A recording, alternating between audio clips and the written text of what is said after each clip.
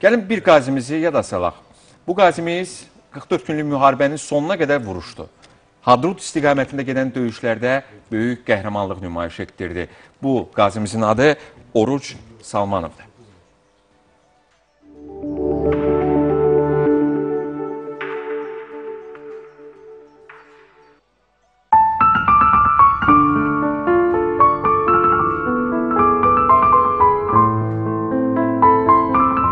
Hər birinin həyatı, döyüş yolu fərqlidir. Amma hamısını bir amal birləşdirib. Vətən uğrunda mübarizə. Bu mübarizənin qəhrəmanlarından biri də Oruc Salmanovdur. Torpaqlarımızın azadlığı hər şeydən vacib idi deyir qazimiz. O, Naxçıvan xüsusi təyinatı qüvvələrində xidmət edib. Müharibə başlayanda isə 4 aylıq qızını ailəsinə əmanət edib cəbhəyə yollanıb. Axşamlar olurdu, patrul vaxtı olurdu. Uşaqlar elə 2 saatdan bir patrul olurdu. Mən yatmırdım. Uşaqların da əvəzinə oyaq qalırdım. Öz əvəzimə də oyaq qalırdım ki, yəni birdən olar hər ehtimala qarşı. Çünki erməni kəşfiyyatıdır. Bizim dilcə çox gözəl dərəcədə bilirəm. Bir ay neçə gün mən döyüşdə olduğum, mən yuxu nədir deyilən şey bir görmədim.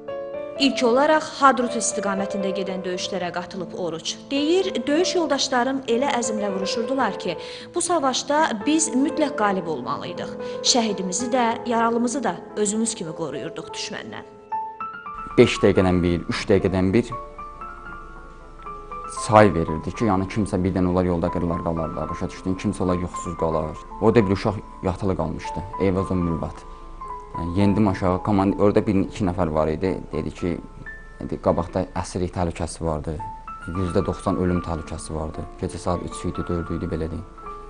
Dedim, yox, ey, mən qeyrətim qəbul eləməz ömür boyu. Mən öz döyüş yoldaşımı mən qoyum orada erməni anamda. 3 nəfər yendi aşağı. Bu uşağı getdik, axtardıq, tapdıq. Oruç Salmanov Şuşa istiqamətində gedən gərgin döyüşlər zamanı çiynindən yaralanıb. Yolunda canımdan can verdiyim vətən sağ olsun deyir. 5 gün orada yaralı qaldım. Orada uşaq var idi, giz gizir idi. Hə. Mənim qolumu jugutla bağladı. Sonra gəldim bu Hadrut istiqamətində yenə mən yolda vurdular. Maşın içində, maşın sirkələndi, yaxşı maşın patlamadı. Bir gün də qaldım orada.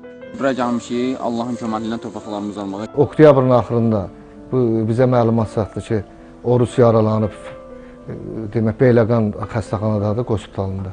Biz getdik ora. Orada maraqlandıq ki, bunun nə adını, şəhid adında e, adı var, nə də yaralanma.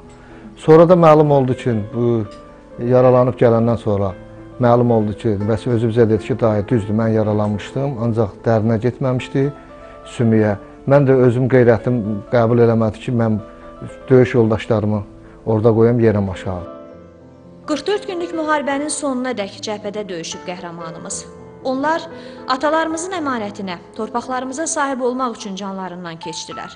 Qolunu, ayağını, gözlərini itirən hər bir qazimiz, şəhidimiz qədər bu torpağa sevgi toxumu səpildi və beləcə bu oğullar həm bizim, həm də gələcək nəsillərin qürur yerinə çevrildi. Asiman Aslanova, Fərid Ələkbərli, Gönçəgül Kamalqızı, Telesəhər.